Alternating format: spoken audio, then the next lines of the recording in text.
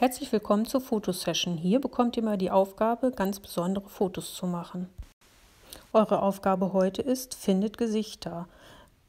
Ganz oft muss man ganz genau hinschauen, aber dann findet man wirklich ganz, ganz viele.